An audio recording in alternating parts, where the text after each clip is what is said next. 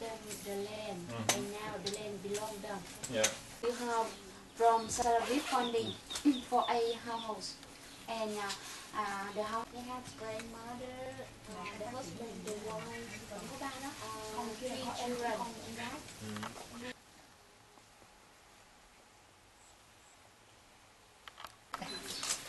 Yeah. Uh, this is a picture of their own house. đi gặp em này nó lấy được hai vợ chồng khổ